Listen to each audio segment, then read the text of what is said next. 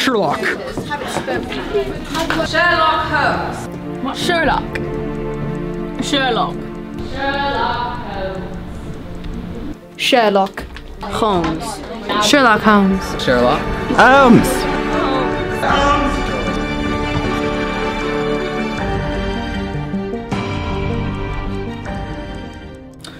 Well, I'm Eli Ramraj, and I play Sherlock Holmes.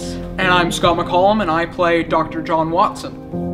And a patient who called herself Lillian Gibbs, but looks suspiciously like the description you gave me of Madge Larrabee. Ah, excellent. Turned out. All right, so the story mostly centers around Sherlock Holmes being hired by an insurance firm to investigate a case involving a woman named Alice Faulkner who has letters that have uh, very important information on them, which then results in a much bigger plot than Sherlock originally intended. We'll, we'll play it safe. Bring out the gun. I'm going to essentially um, take some scandalous letters that were written to Prince Karl from a lover of his and expose them in order to create a war between Russia and Bohemia. And then once I do that, I'll get all the money from the munitions cartel and I will essentially become the richest person alive and then I'll create world war. Charlotte, I think, uh, she plays Moriarty very, very villainously, which, uh, you know, I don't even think, think she's playing a character. I think she's she's just No, like em- yeah. bringing out her inner self. Truly. Yeah, it's not even method acting. Professor Moriarty has no friend. Professor Moriarty is the friend of no one. Have him attended to. Yes, Professor. My name is Charlotte Brady. I'm playing Professor Moriarty. I know the difference, I swear. I am the Napoleon of crime. I basically run the uh, criminal underworld of the Sherlock universe, I guess. And I make sure that other criminals do what I want. I have a grand evil plan involving the munitions cartel and uh, Prince Romanov of Russia and the Prince of Bohemia. Yeah, well, the challenge um, for me, and I imagine Scott and the rest of the cast as well, was realizing that this is a, a story full of characters that have been portrayed so many times. Um, Sherlock being, I think, the most portrayed filmic character in history. And so there was that challenge with some of the greats having played these characters. And so for us, it was navigating how to approach it with some uniqueness, uh, yet retaining the elements that have made this such a long-lasting story. Your every look, tone, gesture. You think you can read me like a book? A children's book. Get it. Well, Eli's an amazing actor, and I'm a close friend of his. And so our relationship is more one of intellectual, not quite friendship, but definitely a sort of friendly rivalry. I mean, there's some malice from both sides because we both want each other to be defeated. We both don't inherently want the other one to win, but I do offer him a proposal to join me. I don't inherently want him to not be with me. Rather, I think that we make an interesting team together. If you do not agree to join with me, then give me your assurance that you will never again hinder my plans. And if I give no such assurance? Destruction. Well, I mean, it just means that the, when she's like tossing around people and hanging them against chairs and threatening to kill them, Yeah. like that's all real.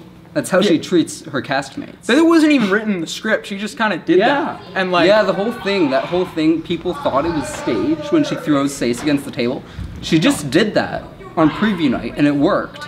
And she kept doing it. yeah, it was, It was All great. She's Okay. awesome. Yes, uh, Sid Prince, Sace.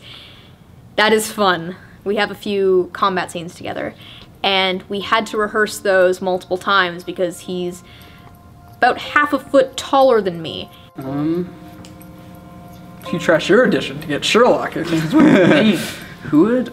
Um, I think we all kind of want to have a run at Moriarty, just Yeah. to give that evil side. That's always fun.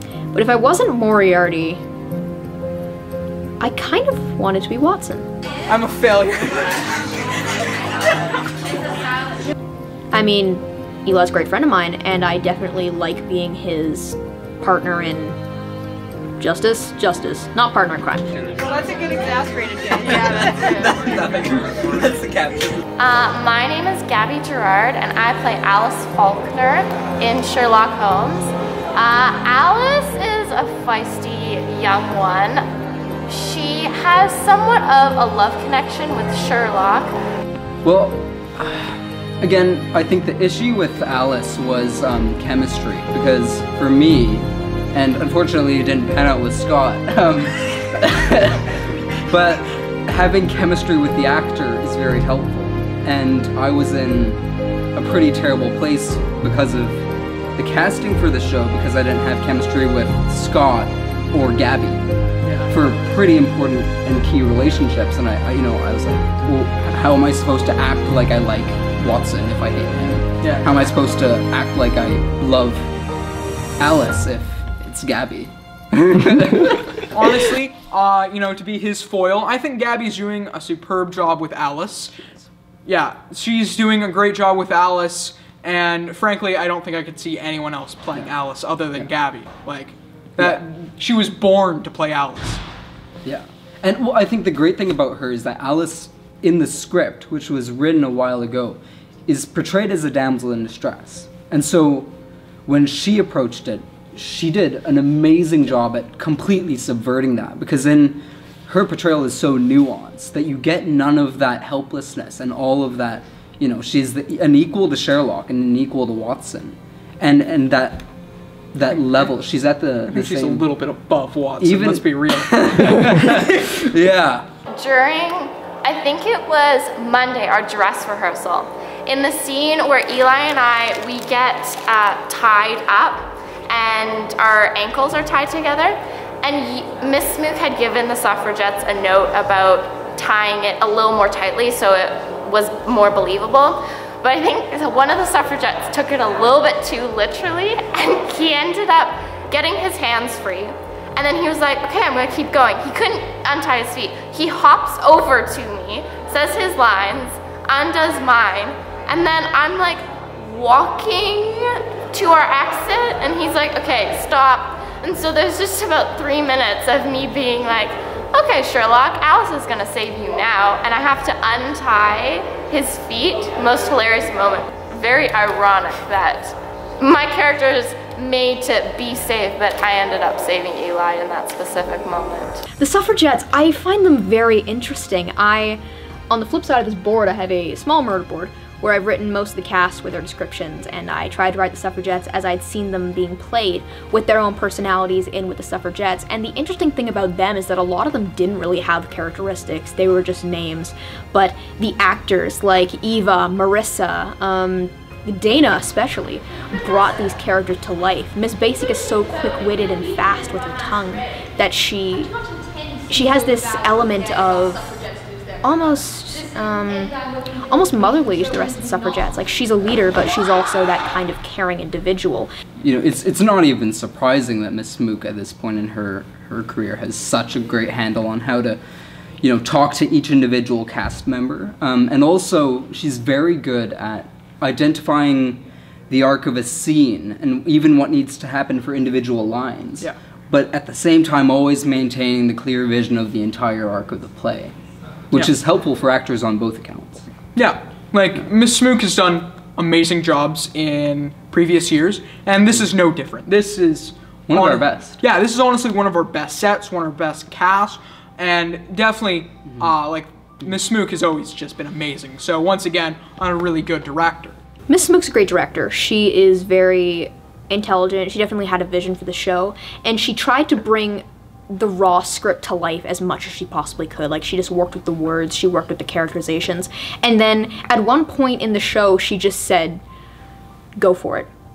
This is where the show becomes yours. This is where I step back and I look at the tech elements, and this is where you bring the characters to life. And I've seen this happen throughout three productions, and whenever she does that, you see kind of a shift in people's mentality. Some of them are scared because they don't really know what to do with their character, but others just get this smile on their face like, now it's mine. And I think that she knows that she can direct the words off the page as much as she can, and she has definitely the talent and strength to do that. But it's always the actor who brings the character to life. And I think she has a great way of incorporating people's personalities into the characters that they play. I always love when we use uh, projections, especially because like Carson is like a wizard with lights and putting that all together. And yeah, Stephanie's nodding. She's been in the booth. I'm Carson. I am the stage manager for the play, and I also helped to design the projections and audio for the for the play. Um, so a lot of my work was done with um, Stephanie as well, who's the other um, projection designer, and we went through a lot of the script and we um, reviewed a lot of the scenes and what we listened to the actors, listened to the direction, and kind of figured out what we kind of wanted the play to look like and then turn that into a projection. And then Izzy went ahead and drew all the projections, so we kind of worked, that's kind of the projection design element of what I did. And what I'm doing right now is stage managing, so I'm calling all of the cues, I'm making sure all the technicians are organized. We have a really good team of 10 people working on this show um, as technicians, so I'm just kind of leading them through that and kind of guiding them on that path. I'll, I'll finally say to myself, you know what, Scott? You made it. You, you've reached the top.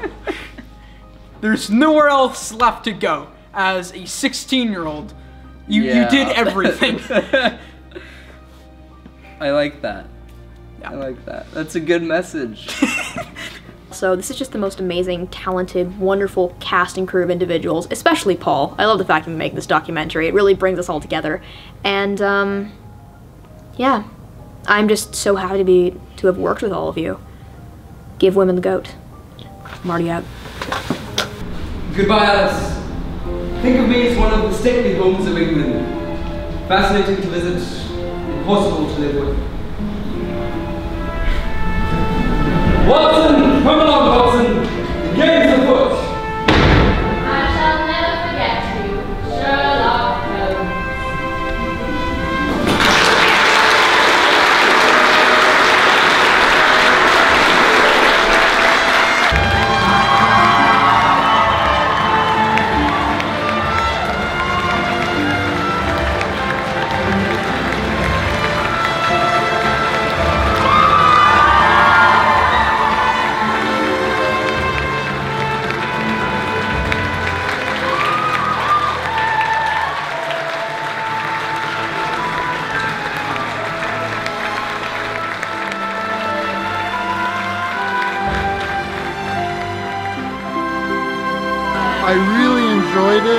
They really did a great job. They made me laugh. They, they drew me in.